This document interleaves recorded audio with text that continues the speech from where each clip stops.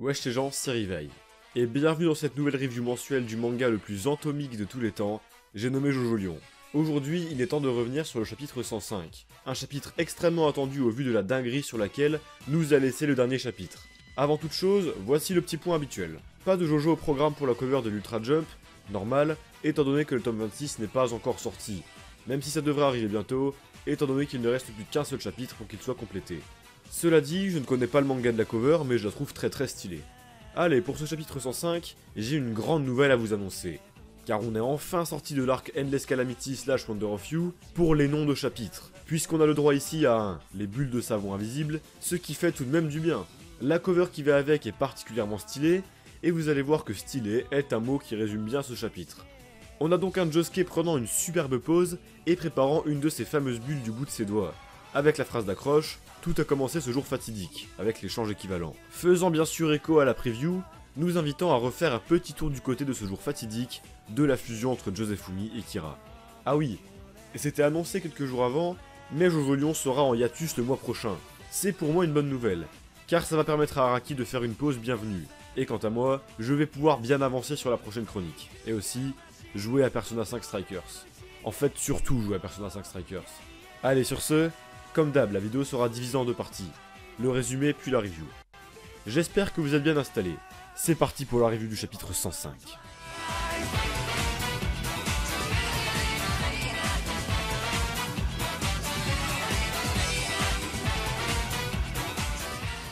Après nous avoir laissé dans le dernier chapitre sur un Josuke tirant une de ses nouvelles étranges bulles sur Wonder of You, le manga va reprendre sur ce fameux séisme qui a eu lieu deux ans plus tôt. L'on va ainsi retrouver Josephumi et Kira, procédant à l'échange équivalent qu'on connaît bien. Alors que Josephumi contemple le ciel et que les deux hommes commencent à se faire ensevelir, on a le droit à une transition sur le résultat de tout ça, notre cher Josuke Higashikata. On va encore voir cette fameuse bulle sortant de sa marque, tout en en chargeant une autre du bout de son doigt. Mamezuku, parlant encore tel un ange gardien, dira que les bulles de savon de Soft and Wet se combinent au Killer Queen de Kira. À l'intérieur de ces bulles se trouve quelque chose que Josuke ne voit pas. Ces bulles sont composées de nombreux fils infiniment fins, si fins que leur épaisseur tend vers zéro. Ainsi, elles n'existent pas dans ce monde, et il est donc impossible de les contrôler. Mais malgré tout, il y a la rotation explosive, qui permet à ces bulles de tout surpasser en ce monde, traversant même les murs, ainsi que la barrière de la calamité. Oui, rassurez-vous, on s'est tous dit la même chose en lisant ça. Enfin, j'y reviendrai dans la review. Alors qu'une de ces fameuses bulles sort de la tâche de naissance de Josuke, ce dernier tire la bulle du bout de son doigt sur Wonder of You. Alors, que va-t-il se passer? Après ce cliffhanger qui nous avait incroyablement hypé à la fin du dernier chapitre Cette bulle arrivera-t-elle à toucher Wonder of You? Eh bien non.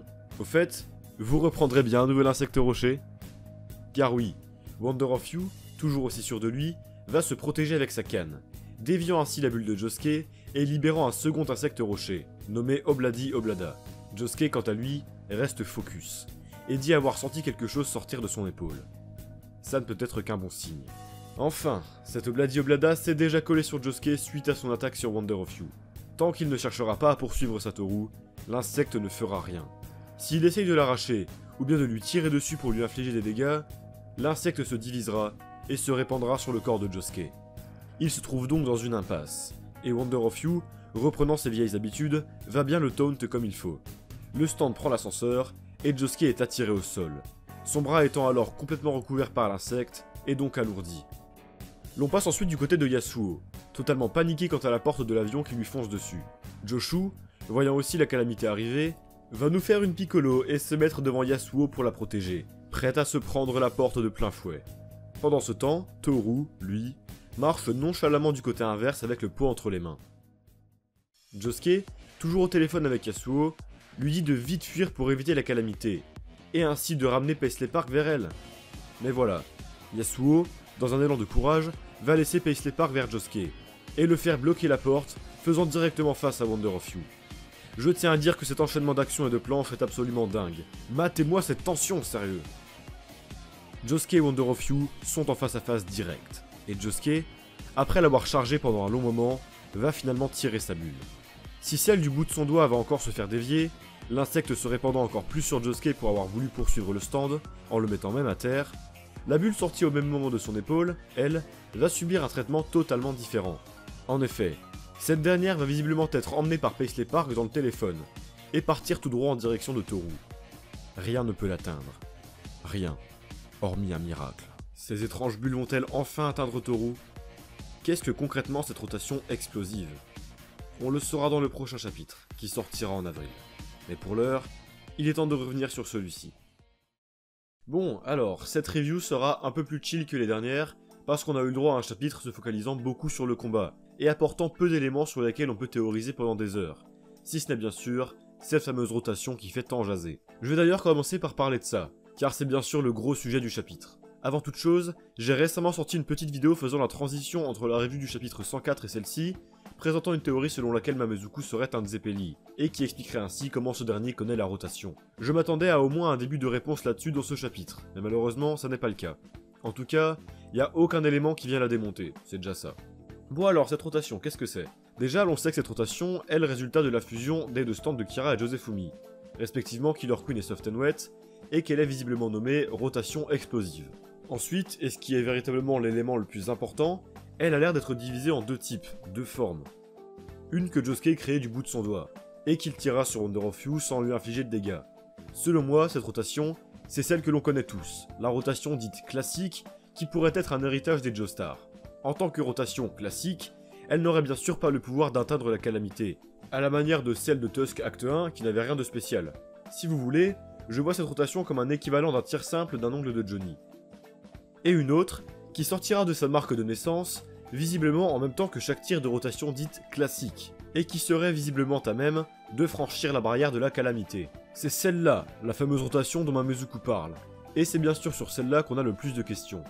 Et vient donc le moment de revenir sur le début d'explication qu'on a sur cette rotation-ci. Les bulles sortant de la marque de Josuke sont composées de fils qui tournent. Ça, on le savait déjà depuis longtemps. Mais ce qu'on apprend ici, c'est que ces fils sont infiniment fins, tendant carrément vers zéro de diamètre. Ce qui fait que ces bulles n'existent pas dans ce monde.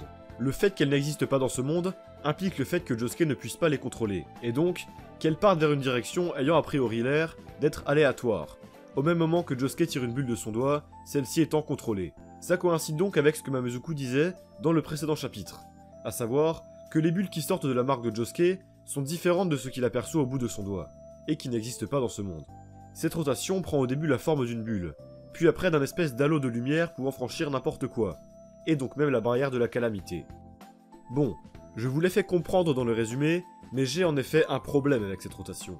Bon, le coup des fils si fin que ça en devient irréel, je vais pas avancer là-dessus, ça me paraît étrange et assez tiré par les cheveux, mais à skip ce serait un délire de théorie des cordes. Donc je me repose sur les potentielles autres explications qu'on aura dans le prochain chapitre. Non, le véritable problème que j'ai, c'est que tout ça, ça paraît artificiel. En fait, je trouve que ça marche moins bien que dans Steel Ball Run, et ce, pour la simple et bonne raison que ça sort d'un coup, comme ça, sans aucune explication ni info avant le combat. Je veux dire, contre Valentine, au tout début du combat, Jairo disait qu'il y avait une technique ancestrale utilisant les mouvements du cheval qui pouvaient franchir la barrière des dimensions grâce au pouvoir de la gravité. Et ainsi, l'objectif du combat était que Johnny parvienne à la maîtriser pour venir à bout de Valentine. Là, on a un Josuke qui entend Mamezuku lui parler, mais on sait même pas d'où ça vient. S'il lui a dit ça avant le combat, ou s'il lui parle en direct par je ne sais quelle télépathie post-mortem ou du moins post-coma, et qui va mettre en place une technique dont on n'a jamais entendu parler avant, et dont on a les explications en temps réel. Le problème, c'est que j'ai beaucoup plus de mal à m'impliquer. Tout ça donne l'impression de sortir de nulle part, si vous voulez, même si ça n'est très probablement pas le cas. Car oui, je suis certain qu'on aura tôt ou tard les explications complètes de cette rotation. À vrai dire, on en sait déjà plus que dans le dernier chapitre, mais voilà. Ça donne l'impression de sortir de nulle part, et je trouve ça peu ouf. Peut-être que c'est une volonté d'Araki de vouloir introduire ça d'une manière différente de Steel Ball Run, en jouant sur l'aspect mystérieux qu'il affectionne tant dans Lion. Pourquoi pas?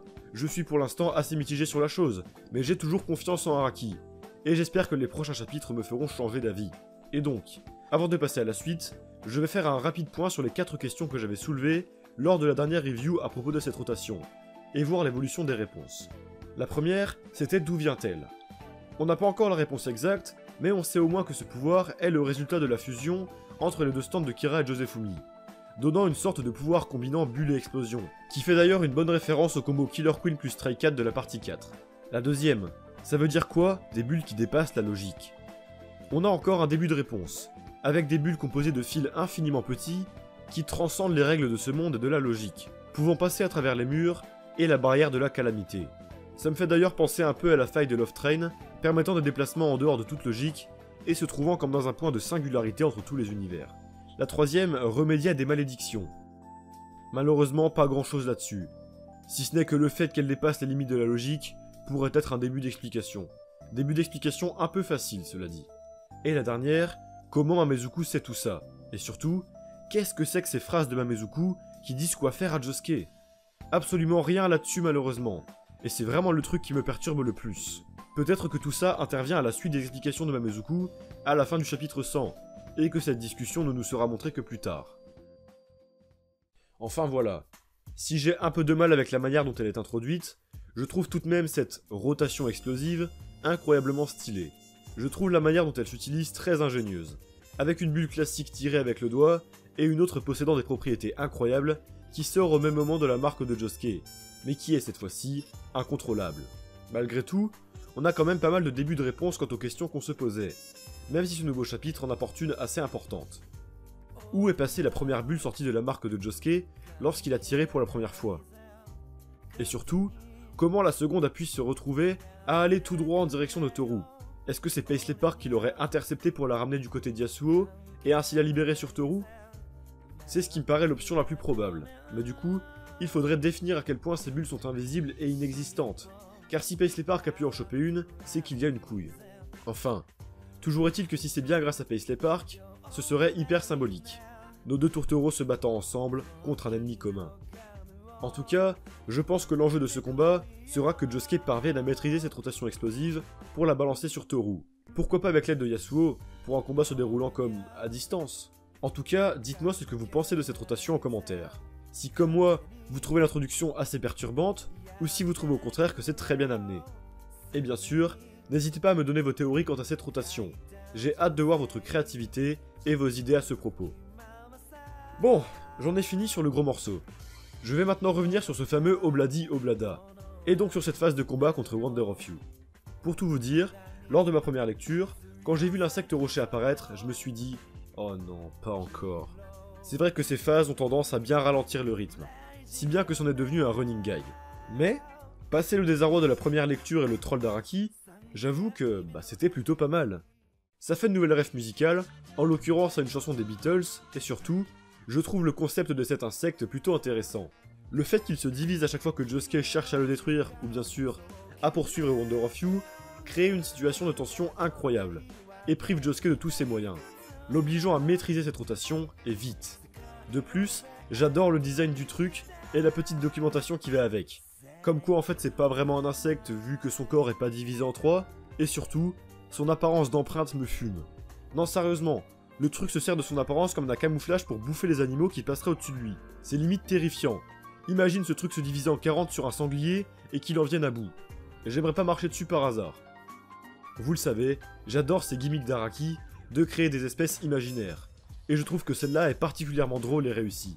A vrai dire, à ce niveau-là, on est gâté dans Jojo Lion. Par contre, ces récurrentes utilisations d'insectes, ainsi que cette relative passivité de Wonder of You, me laisse de plus en plus penser que ce stand possède une force physique nulle. C'est vrai, on l'a jamais vu attaquer directement. Je suis sûr que s'il le pouvait, il aurait déjà pu terminer Josuke depuis très longtemps, vu comment il s'approche de lui dans ce chapitre. En tout cas, si c'est vrai, je trouve ça intéressant, cette idée d'avoir un stand de méchant avec une force physique nulle. Ça permet de changer un peu par rapport aux combats finaux des autres parties.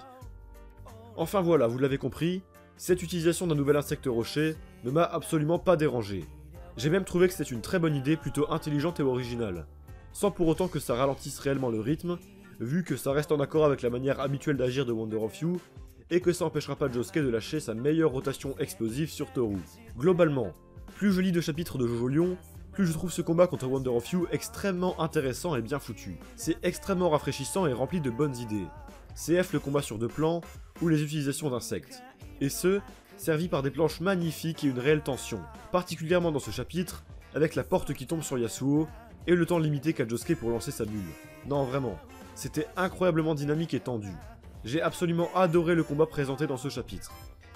Malgré tout, pour que ce combat se confirme comme réellement excellent par la suite, il faut deux conditions. L'une, que la rotation est une bonne explication plausible. Ça, même si pour l'instant je suis assez mitigé, j'y crois. Et la deuxième, et vous me voyez venir, que Toru ait son développement un jour, bordel. Je suis désolé, mais il n'y aura pas d'instant Toru aujourd'hui. Car le personnage était tout sauf au premier plan, tout ce que je peux dire c'était que bah, comme d'hab, Wonder of You pue la classe, et que j'adore le ton nonchalant de Toru. Mais bordel, écoute-moi bien Araki. Il y a intérêt à ce que la bulle qui arrive sur Toru à la fin, si elle arrive à le toucher, ne soit pas une blessure mortelle. Parce que putain, si Toru crève sans avoir eu un minimum de développement, je vais vraiment le prendre mal. Si bien que Jojo va passer derrière Berserk dans mon top, je suis très sérieux. Alors, j'espère sincèrement que cette bulle atteindra Toru sans le tuer, et que ce combat durera encore un certain temps. J'espère sincèrement que cette bulle a la même fonction que la deuxième boule lancée par Jairo sur Valentine, lui arrachant son oreille. C'est-à-dire que ce sera la deuxième fois que Toru sera touché, après la combinaison de Brandy Sway et Soft and Wet, et non pas le coup final. Ce qui me fait peur, c'est la porte d'avion qui est littéralement à deux doigts de se cracher, et qui ne paraît inévitable que par la mort de Toru. J'ai l'impression de ne dire que ça, mais encore une fois, j'ai confiance en toi, Araki. Alors ne déconne pas, s'il te plaît. Parce que déjà que Toru c'est compliqué de s'impliquer à son propos parce qu'on connaît rien du bougre, alors viens pas le faire mourir sans l'avoir développé au moins un minimum. Parce que le palmarès de Toru actuellement c'est j'ai du flow, je suis mystérieux et dark, et j'ai un stand stylé. On le sait en plus, que tout depuis le début est relié à cet homme, alors maintenant, il faudrait nous dire en quoi. Allez, assez parlé de notre enfoiré national. Je vais maintenant vite faire revenir sur le côté de Yasuo. Déjà, c'est maintenant confirmé, la porte d'avion n'est donc pas un hasard, mais bel et bien une calamité, et qui ne semble viser que Yasuo. Toru ne finira donc pas écrasé comme une merde, et c'est tant mieux. Comme d'hab, j'adore le personnage de Yasuo, faisant tout pour aider Josuke, le faisant même passer avant sa propre survie. C'est beau l'amour. Et en parlant de sa survie, on a eu une fois de plus le droit à une masterclass de Joshu, prête à se sacrifier pour sauver Yasuo. Reste à voir comment ça va concrètement se passer. Est-ce qu'il va une fois de plus perdre ses couilles et s'écarter au dernier moment, ou est-ce qu'il va bel et bien rester? Mais dans ce cas, est-ce que seul Joshu se prendra la porte, ou est-ce qu'elle s'écrasera sur les deux, rendant ce sacrifice inutile? Est-ce que la porte va-t-elle réellement s'écraser au moins? Ou est-ce que Toru sera touché avant? On verra bien. Ça fait longtemps qu'Araki fait monter la tension avec cette porte, et j'ai hâte de voir ce qu'il va définitivement se passer avec ça. Ah oui, et quant au flashback, je vais pas spécialement m'attarder dessus, car on n'apprend vraiment rien de plus, si ce n'est que je l'avoue, ça m'a fait plaisir de revoir Joséphumi et Kira, et j'ai beaucoup aimé le « et contemplons un ciel nouveau » de Joséphumi. Un peu dommage que ce soit peu ou prou les mêmes répliques que dans le flashback originel, mais ça a permis une superbe transition avec Josuke, et d'introduire la rotation explosive avec le contexte adéquat. Avant de conclure, je vais comme d'hab faire un rapide point sur les dessins. Et bordel que dire, mais que dire? J'ai l'impression qu'à chaque chapitre, je dis que c'est sublime et encore mieux que le précédent. Mais là sérieusement, regardez-moi ça. C'est simple, toutes les planches sont exceptionnelles. En particulier ces nombreuses doubles planches juste divines. Sérieusement, entre les incroyables confrontations Wonder of You Josuke, les face-à-face sur fond blanc absolument sublimes, l'effet de charge de la rotation de Josuke exceptionnel, ou encore la perspective et le choix des plans toujours aussi dingues, et tout ça servi par un découpage absolument transcendant, rendant le combat incroyablement dynamique et rempli de symbolisme, bordel que c'était beau. Ouais, ça en fait des adjectifs extrêmement positifs, mais rendez-vous compte, quand je vois la transition entre le flashback Josefumi Kira qui laisse place à Josuke, ou encore la dernière page montrant Yasuo dans un fond noir, sur le point de se faire heurter, contrastant avec la traînée blanche de la bulle de Josuke qui part du centre de la case de Yasuo pour aller en direction de Toru, montrant l'espoir, la lumière au bout du tunnel, bah bordel, je ne peux qu'applaudir Araki pour ses incroyables choix de composition, et montrer ce chapitre à n'importe quel demeuré qui dirait encore hmm, Jojo c'est moche en 2021, pour qu'il comprenne de quoi il parle. Ah, et c'est sans parler des visages et des regards des personnages, particulièrement Josuke et sa subtile mais présente Dark Determination, qui sont tout particulièrement exceptionnels encore une fois, encore plus que dans les chapitres récents à mon goût. Bref, en termes de dessin, c'est un 10 sur 10 totalement mérité et de loin. On pourra dire ce qu'on veut de Jojo Lyon, mais là-dessus, du moins personnellement, et même si c'est un style peut-être un peu moins mature que Stable Run, eh bien je trouve que la partie a développé une sacrée identité.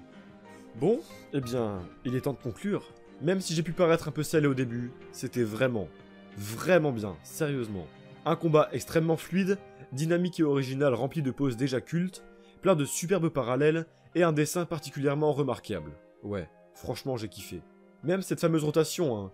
Je me suis montré critique quant à la manière dont elle a été introduite, parce que c'est vrai que c'est assez différent et que ça peut paraître un peu tiré par les cheveux. Mais voilà, le concept est original et visuellement très stylé. En fait, ce que je reproche à l'introduction de cette rotation, C'est ce que je reproche à Jojo Lion dans son intégralité. Ce qui fait la force, mais aussi la faiblesse de Jojo Lion, à savoir ses mystères. Oui, on l'a compris que pour cette partie, Araki a voulu partir sur une narration remplie de trous, afin de garder une aura de mystère qui, en effet, marche de mon point de vue. Mais voilà, une narration comme ça, c'est à double tranchant. Surtout pour Araki, l'homme qui écrit ses histoires au feeling et qui a l'habitude de faire des retcons parfois malvenus. Ce que je veux dire par là, c'est que bon, ça y est, on a compris, c'était cool. Ça a permis de raconter une histoire d'une manière différente et de donner un feeling différent des autres parties. Mais allez, il faudrait peut-être commencer à donner des réponses. Quand la communauté a découvert la preview, tout le monde s'attendait à un flashback important qui, pourquoi pas, expliquerait même l'identité du flashbackman. Mais à la place, on a eu un flashback que l'on connaît déjà, même s'il était extrêmement bien intégré. En fait, de mon côté, j'ai l'impression qu'Araki fait un trait sur tous les mystères non résolus qui, pour rappel, sont nombreux, et qui va en rajouter par-dessus, comme Toru ou cette fameuse rotation. Ce qui, je trouve, est un peu étouffant. Enfin, j'espère que ce n'est qu'une impression, et qu'on aura un jour des réponses à toutes les questions que l'on se pose. Sans quoi, une fois que ce sera fini, l'on gardera en tête Jojo Lion comme une bonne partie, mais remplie d'éléments passés à la trappe, donnant un rendu mal fignolé. Voilà. C'était mon petit instant crainte pour l'avenir, ça fait longtemps que je voulais en parler, ça fait du bien de le sortir une bonne fois pour toutes. Bref, j'ai un peu divagué, mais retenez que j'ai trouvé ce chapitre super, à presque tous les points de vue, et que ça va être extrêmement dur d'attendre de moi. Mais bon, je me réconforte en me disant que l'attente en vaudra la peine, puisque vous le savez, avril risque d'être un mois historique pour Jojo. Allez sur ce, j'en ai fini avec cette review. Et voilà, c'est ainsi que s'achève cette review du chapitre 105 de Jojo Lion. Euh, review que j'avais annoncé comme plus chill au début de, la partie review, euh, mais qui en fait, bah non, elle a une durée comparable aux autres et aussi grande que la dernière. Euh, mais voilà, il n'y aura pas de chapitre pendant deux mois, alors autant que je fasse une review assez consistante avant de, faire une petite pause. Petite pause qui fera du bien à Araki, j'espère qu'il pourra se reposer un peu et organiser ses idées pour la suite du manga. Moi aussi, je vais me reposer un peu euh, mais je vais bien sûr bosser sur la chronique euh, sur Valentine qui va durer une heure et demie, c'est pas des vannes. Donc je vais la monter tranquillement pendant cette pause et puis euh, et puis voilà, je devrais pouvoir la sortir fin fin mars ou peut-être milieu avril, je, sais pas. ça sera dans cette tranche là en tout cas. Et puis voilà, en tout cas pour ceux qui ne suivent que les reviews de Jojo Lion, on va donc se donner rendez-vous dans, deux mois, voilà. laissons une petite pause à ce manga après ce cliffhanger qui était le même que la dernière fois mais un peu différent. bref voilà, j'espère que vous avez kiffé la vidéo, pardon. Euh, merci aux donateurs comme d'habitude qui s'affichent. Si t'as kiffé en tout cas, n'hésite pas à mettre un like, à t'abonner, à commenter. C'est cool hein, de, lire vos commentaires, j'adore ça à chaque fois dans les reviews. Et sur ce, on se dit à la prochaine fois. Salut tout le monde. Et n'oubliez pas, Jojo c'est quand même vachement bien.